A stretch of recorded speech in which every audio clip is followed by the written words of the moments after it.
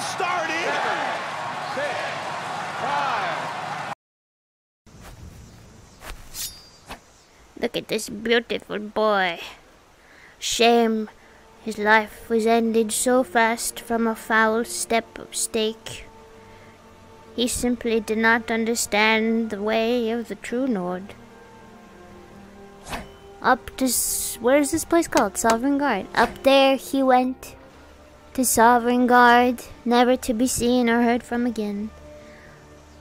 Young boys to. Okay, let's reload.